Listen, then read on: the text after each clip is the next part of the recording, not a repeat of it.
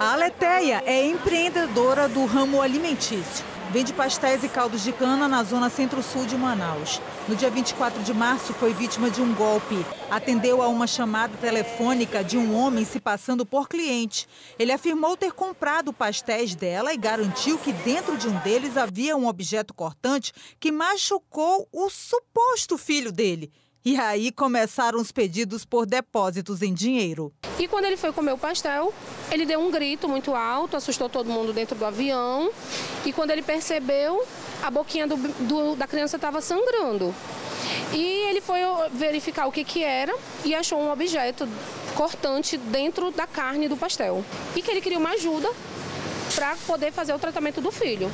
Que o filho não estava comendo nada é, sólido, só comidas pastosas, e ele precisava de 200 reais para comprar iogurtes, sorvetes para dar para o filho.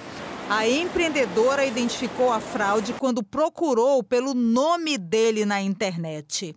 Aí ele mandou o nome dele completo. Foi a hora que a gente puxou na internet. Quando puxou, já apareceu a cara dele estampada como sendo preso numa quadrilha ele e uma mulher ao lado que aplicava golpes em redes de supermercado, de, de lanchonetes e restaurantes, aplicava golpes pedindo dinheiro desse suposto golpe de a criança ter se ferido, inclusive apareceu a foto da mesma criança com o mesmo objeto.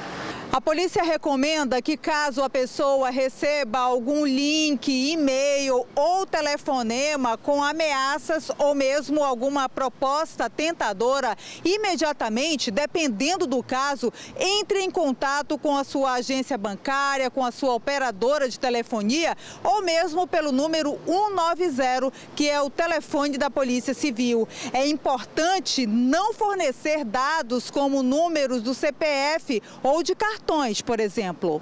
Essas tentativas de fraude chegam principalmente por WhatsApp, redes sociais, e-mails. E olha, é preciso tomar cuidado também com os sites e aplicativos de relacionamento.